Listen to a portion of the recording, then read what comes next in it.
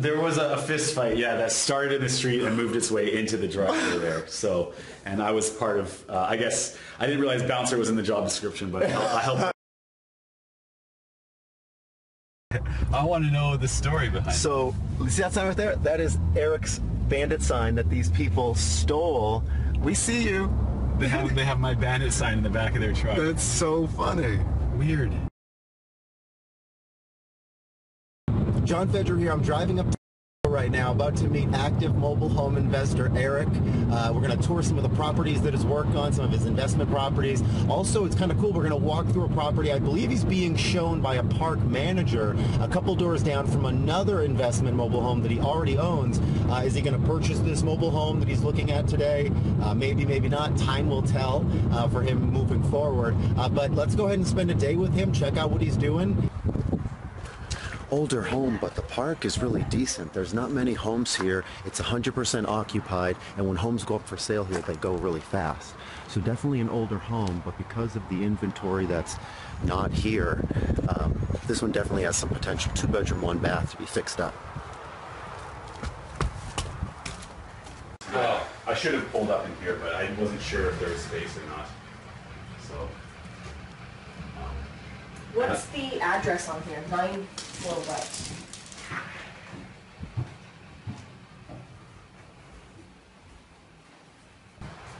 Trying to locate the hot water heater. Also an area for a washer and dryer.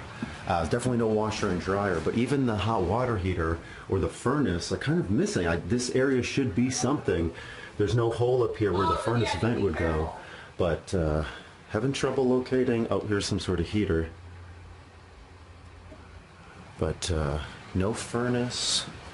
Got it. It has a 200 amp service, so assuming that's correct, uh, should be able It's to put in hot water heater and furnace. Yeah. We cannot find it anywhere in here. It's not in the back. It's Look at this the floor tiling on the wall. that's in a closet. Doesn't look too bad actually. That's what I thought too, but I couldn't. I wanted to interrupt this video really quickly to uh, say a couple things. Uh, you may be walking or watching this video, walking through the mobile home to say, John, this is an older, uh, like kind of functionally obsolete mobile home. You know, why would I want to invest in this mobile home, uh, you know, when there's other mobile homes out there for, for better opportunity? Well, there's a couple of reasons. Number one is that Eric was turned on to this mobile home by the park manager who already likes Eric. Eric's already involved in that park, cleaning up homes and reselling them. Um, and this one can be no different. We want to be a one-stop shop for most park managers. If they have a property, we want to be interested, or at least show interest and go take a look at the property and really try to give it our all if we can invest in it. Now, this is an older, uh, smaller 12 foot wide by 48 foot long mobile home that I will agree with you, it's not brand new by any stretch of the imagination. It does need work. When it's cleaned up and repaired, it has another 10, 20 years left in it for sure, if not longer. So there is a value to be created with a home like this, um, even in the condition that it's in, um, because Eric's going to get it for little to no money. Um, and he's already working in that park. So we want to be helpful to the manager. The low supply means that the demand for this home will be substantial when it is fixed up. And it is a two-bedroom, uh, one-bathroom mobile home that has, uh, yeah, needs some work, but it's it's a decent home. So anyway, I just kind of wanted to mention that uh, as to why, you know, why we're looking at this home. Um, just because it's obviously not the newest, nicest mobile home out there. Um, in some areas, you know, people watching might say, oh, it needs to be just pulled out of there and condemned. And it's got more life left in it, that's for sure. Um, and the rest of the, the park is sort of comparable. There's some nicer, newer homes, but mostly it's kind of older homes that have been taken care of and loved by people that are in them. Uh, so I hope that that made sense. Now let's go back to the video. We're actually in this same park. We're going to pick up the video sitting in Eric's truck right outside of a property that he's holding for uh, payments. We're back in the truck now. Um, this one you have purchased and you've you're you've sold it Correct. on payments. Correct. Um, what, is this a two a two bedroom? Yes, it is uh, a two-bedroom, one-bathroom. Um, it's originally in 1970, but it's been extensively remodeled uh, By you or by the people that? by the people, previous owners. Cool. Two previous owners. Um, the one of the biggest problems with this one when you got it was the roof, and Correct. you had it. Yeah. How did you fix the roof issue? Okay, well, um, I did a bunch of research, and there's a couple options. This is the old metal roofs.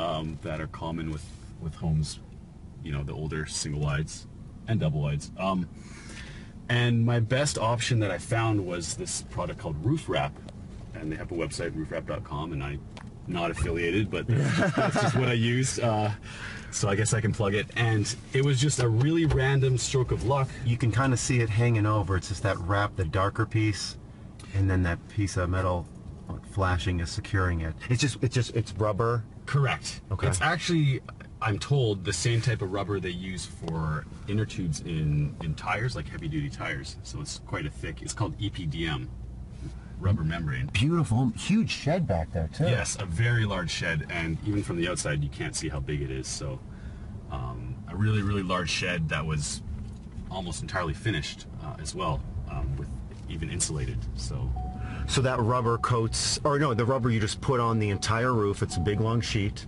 correct. and uh, You can purchase it in widths that are one foot wider than the home. So that was a 12 foot wide home, and you purchase a 13 foot width. And if there was no pop out or tip out, you would just roll it out over the roof and put it directly over top. You don't have to do any prep work. Uh, depending here, there's no high wind hurricane risk, so no further prep was necessary. If there's areas with a higher wind load, you you would there's a way to glue it down, uh, make it more secure, and um, and basically for the roof penetrations, you just you cut a hole and it slides right over because it's rubber, and then you would put a proper um, like silicone boot or something on top of that and seal it correctly. me and Eric are having lunch right now at some awesome taco bus. You go walk in the front, and then there's like a station to cook right there. So I actually have a business partner, and um, so some deals we do independently, but sometimes it's good to partner with other investors. Nice. So this is a woman that, and we'll see the home later today. Uh, she's a partner on that home. Okay. It's it's a home that uh, is is a higher price point than I would normally go into, but it, it still makes sense to do as a deal. The numbers made sense, so we partnered up and and we each brought things to the table. She just came back from doing a walkthrough of a mobile home on land um, in a sort of a rural area, and she was pretty excited. She says it's looking good. And her thought was to um, to actually it has an old mobile home, and she was going to you know take that away or get rid of it and put a brand new one on because it's not financeable currently and, sh- and her exit strategy is, is something that can be financed. Um, and I actually got a lead last week of a, a 98 double wide that needs to be moved. And we kind of put two and two Yes. together on the phone. So on Monday, in a couple days, I'm I'm doing a walkthrough of a, of a 98 32 double wide, a big one, like 1,700 square foot. Oh, wow. And typically you would have to Heck try to find a park or something, but this could be a good home to replace the old 70s one that's there already. Absolutely. Uh, apparently the one that's there is in a really bad state, and so and this one that I'm going to look at is apparently very livable and nice. So should we pause it? And just Yeah, get some- definitely. Get some, stuff to put on. Oh it? yeah, we're gonna get some stuff and eat this. I sneaked into Eric's office. How cool is this? Discipline absolutely equals freedom. That's so cool. So these are just a couple things I use for staging. Um, some of the homes um, I, I stage, and this is a, a ficus tree. Just, Okay. just like the table, um, Picture. picture, and, and the plant. That's really it's pretty minor. It's some shower curtains, uh, some towels, some basic things, and it works really well. Um, and it makes the home look really nice when it's ready. Do you ever have people kind of like, oh no, I want to keep that? I have had people that liked liked the uh, that picture. Yeah, seriously, that is which I just got off Craigslist. I mean, and you don't have to spend a lot on this. Like, get it off Craigslist. This I got for free. Uh, you don't have to go overboard. You don't have to do the entire home, but Great tip. yeah, I, I think it helps. Yeah. Sitting here, sitting here in Eric's backyard. We're going like everywhere today. Yeah, yeah. It's the grand tour today. I, I first found mobile home investing through Bigger Pockets, spending time on there. I, I wanted to be a real estate investor, but I was struggling to do it with the amount of money I had in, in my home market. And I was getting frustrated. And I found mobile home investing. And I looked into it a little bit where I was, and it, it didn't seem viable to me. There's very few mobile homes where I lived. Um, the market really wasn't amenable. And so I started doing some research, and I, I made the decision um, one day to to just go for it, and that was uh, a year ago in August, and it was it was a pretty big decision. Um, and then I, I also did some research, and not too far away, but I had to move towns to move to a, a, a better market. So I moved here where there is there's probably 200 mobile home parks in this county. So it was a very strategic decision. Awesome. And uh, and I know very few people can kind of do that because I'm at a point in my life where I don't have you know a family to take care of. Fine. I was able to, to quit my job, but it was still it was a huge leap. I left my family and friends, and I came here to really see if I could do it. That was the main thing. You know, can I do this? If not, you know, I was going to slink back home with my tail between my legs and go back to my career. But I thought I'd give it my best shot Well, for for a couple months. You yeah. did, and you're being really modest because that was the. I remember that point blank from the very first time that we talked. You know, come hell or high water, like I'm giving this my all. You gave yourself every opportunity. You were talking to people, but then you didn't have traction. And on your first deal in May, since then it's been about one one deal a month. Approximately, yeah. So uh, it's been five months now since my first deal, Okay. and um, now I'm on my fifth flip currently happening, which we'll see today, and I've done two wholesale deals. So two legitimate wholesale deals. Yeah. And then the three others were Uh, two cash Two flips cash. and one on payments. right on. Okay, so then the payment one, uh, what does that one look like? So the payment was my second flip, and I actually purchased the home for $800. It was one I was a little bit afraid of at first, but it actually wasn't that much work once I looked beneath the surface. Um, all in cost was four grand. Okay. and uh, the sale price was five grand down and 300 a month for four, for three and a half years. Oh, right on. So you then more than you made a profit at the move-in. Small profit at the move-in and cash flow for three and a half years. It was the home. It was my second deal, and it needed a lot of work both to the yard that the park wanted. They didn't care about the inside, but they cared about the exterior appearance.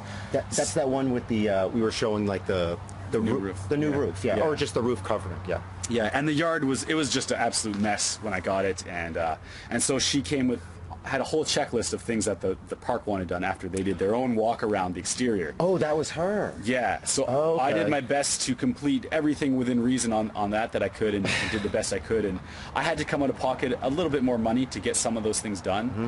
But um, it, it wasn't significant, and uh, and it helps out because here she is. There's another home available. Right. She's calling me to to have a look, and, and you know I'm getting the first crack at it, which is amazing. Let's talk about that one. So it was it was a 1960 something, only a two bedroom. Yeah, Um, it was a very interesting home. what are your thoughts on that one? On whether I would do that as a deal, Uh, yeah, if you you know, at this point, and this, this um, is the first time that you saw it today, right? Yeah, Okay, so we're kind of I'm kind of hitting you with some. Yeah, it, what it really depends what the park wants. If they want money for it, that is more work than the ones that I have done to date. Okay. You know, so I haven't done anything that, that is that extensive. Um, my very gut reaction is it's a pass, Okay. just because I know there are easier deals out there, and right now I almost have Well a ba- backlog of, of walkthroughs I need to do. so so there's that. other stuff I have to follow up. So um, there could be very well be much easier ones. But having said that. Um, I have to talk to the park. Maybe it's something um, if they're okay. You know, we oftentimes you sell sort of ones that still need some work, but with air, all the essentials working. So it could be something that we get clean and presentable. There's definitely the roof's good. It's dry. You know, it has been a home and it can be a good home for someone. think so. But it's going to take a certain type of buyer that is perhaps going to want to complete all the finishing touches. So I mean, with my experience, that's something that it's older than what I've done, it's smaller than what I've done, and it needs more work than what I've done. And I know there's ones that are are you know easier, less work out there Well said. right now. Uh, so So would it be profitable? Yes, but is it the? is it worth the time and effort? Maybe. I'm I'm on the fence right now. So just parked at one of uh, Eric's empty properties at the moment. Check out this community here. Uh, all the homes are, not all of them, but a lot of them are kind of facing the front. You have like the long part facing this way, which is cool um, because you don't see that often. This looks more like a residential street. It does, yeah. uh, and that's part of the appeal to people. Is And this is your, this is your place. this is our project? Do you mind talking about uh, the numbers or can we go inside? Yeah, absolutely. Ooh, this thing's huge. Uh, It's almost 1,500 square foot, but think I haven't measured it. It might be bigger. It feels bigger to me. beautiful windows. What what year is this? This is a 2001. Uh, it's a three bedroom, two bathroom. This is more like a traditional house flip where Wow. we've had paint and carpet done. Oh, it smells great. Yeah, it smells like new carpet. Smells like money. This is incredible. So yeah, what are the numbers? How, how, how'd you get into it? So uh, this is a partnership, a joint venture partnership. Okay. Uh, there's three partners involved. Cool. So the nice thing was on this one, I didn't have to come out of pocket any money, Didn't come out any money. but using you know the skills that I bring to the table, Very particular set of skills. and uh, they purchased it for twenty five thousand from a bank. It was a repo, and uh, and our budget for the rehab is uh, ten thousand. Okay. So we're looking to be into it for anywhere from thirty-three to thirty-six thousand, and we're going to put on the market at sixty thousand, and we're confident we can get between fifty and sixty thousand. Yes. Yeah, That's excellent. yeah. So uh, it's split three ways. That, that works out to somewhere between anywhere from five to eight grand each. Who originally found found the deal? Um, well, it's uh, both myself and my partner are both on the buyers list of this bank. Okay. I send out monthly emails. So then, what was the thought process that you didn't want to do this by yourself? Uh, I didn't have enough capital. Okay. Yeah, didn't have the funds to. That's- but, makes perfect um, And what's that twenty-five thousand that my partner decided was worth doing the deal? I personally wouldn't have paid that much. I think if I did have the funds, I would have been into it. Maybe I would have liked to have been into it for fifteen to twenty tops, fifteen to seventeen thousand. You feel that the bank would have? I don't think they would have accepted that though. Uh, I did bid, I think thirteen thousand on it uh, a month previous, and it was not accepted. As a third of an acre sized lot, which is uh, big. Very big. What's the lot rent? It's uh, it's around fifty dollars below average at 40. yeah, And for this huge lot. yeah. Nice. When do you plan on getting it uh, all done? I mean, it looks like you don't have too much more We're to do. almost there. Yeah. there's just some finishing touches. Hopefully, a couple more days, and early next week we'll have it on the market. Heck yeah. Congratulations. Thanks. What are your goals for the rest of the year? My goals are to continue the current pace of one deal per month. Cool.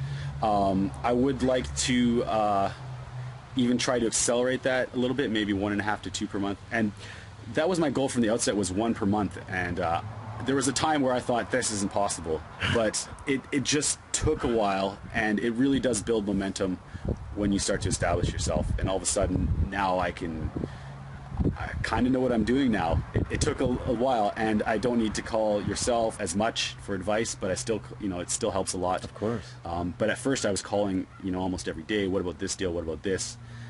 You do get competent. It just takes some time and practice. And you're able to sell a lot. Well, most of what you sold is, or, has been for cash. Correct. Uh, the market that I'm in is is a hotter market, I guess, in terms of the country. There's very good demand, and that was also a strategic decision uh, on my part. I need to. I didn't start with a huge amount, but enough, and it's helped me build up my capital a bit to where um, I plan to do more on payments because you can make more on payments. Um, but I've left a bit on the table by doing a couple cash deals to help build up my capital. My goodness, but from where you came from, I mean, the the the version of you now that I'm hearing is so much different than, and even at that mastermind group in Phoenix, like just the the the confidence level that you had there was almost more of a I hear people doing it and I see that it's possible, but you don't.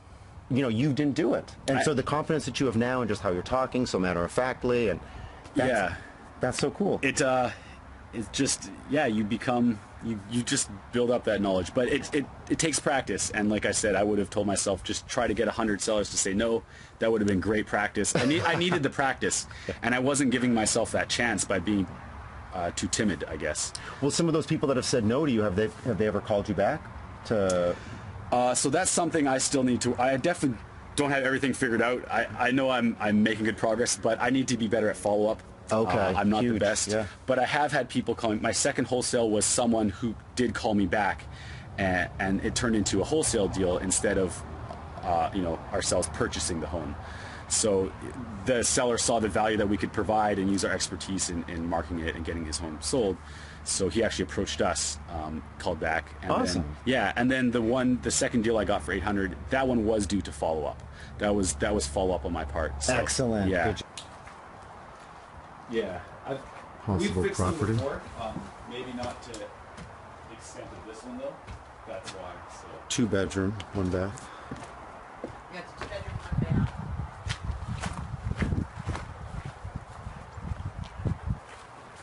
Potentially pick up for free with a lot of free lot rent. But it's going to need a whole overhaul, six or seven thousand. Nice to meet you.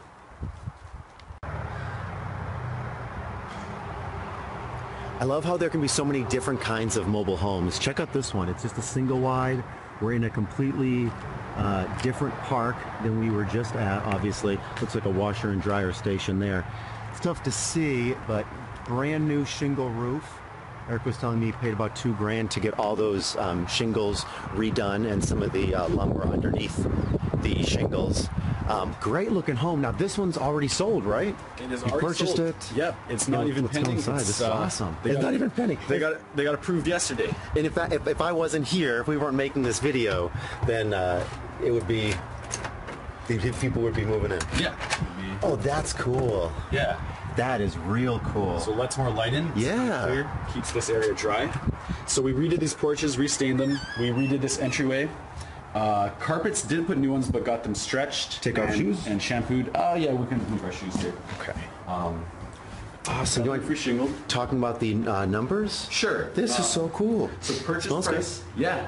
Purchase price was sixty five hundred with fifty percent down and fifty percent in six months. Ah, that's the one. Yes, and um, and that helped because uh, I didn't have enough money to buy it and, and do the repairs. So I used that money to do the repairs, and um, so we are actually I overspent on this one. Uh, I'm going to be all in for twelve thousand. Okay. Um, where did you? Where did that? Where did the extra expenses come from? Where do you feel like you overspent on the acquisition price, on the rehab?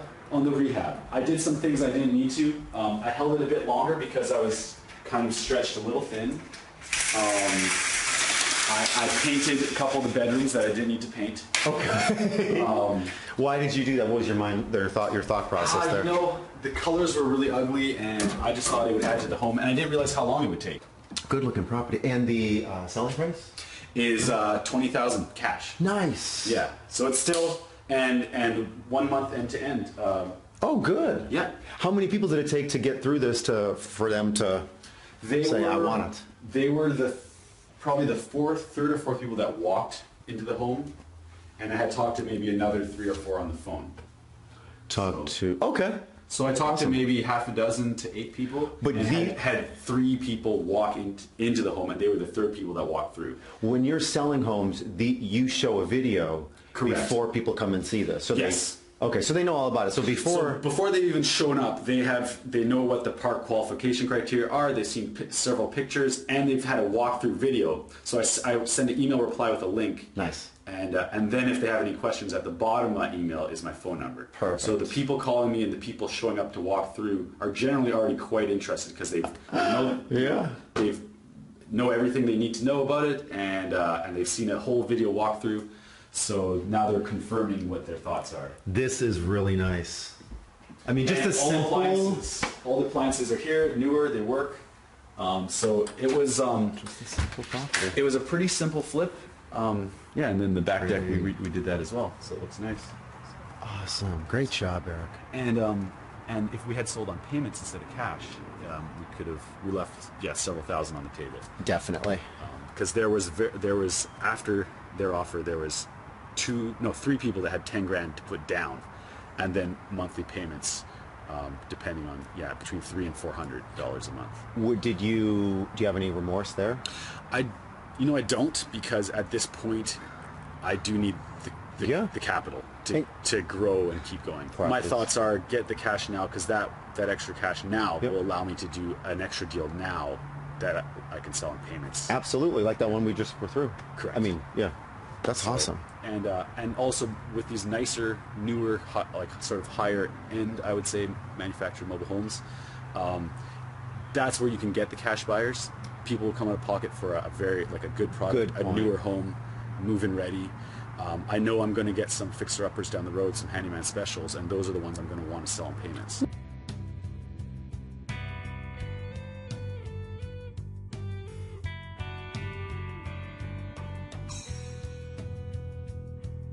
So still in this amazing home, and this just happened a couple days ago. I have not even been privy to what was going on, but literally outside where your truck is, Yeah. that there was a Uh, it- It fist started, fight? uh, There was a, a fist fight, yeah, that started in the street and moved its way into the driveway there. So, and I was part of. Uh, I guess I didn't realize bouncer was in the job description, but I helped. I helped break it up. Um, so, uh, Yeah. what it was is we hired our painters to, to paint this home, and it looks great now. But I've had someone coming in and doing touch-ups. I call this painter uh, based on they had a bandit sign actually, and, Okay. and they talked a good game. And I got two quotes, and they were the lower quotes, so they were the cheaper work.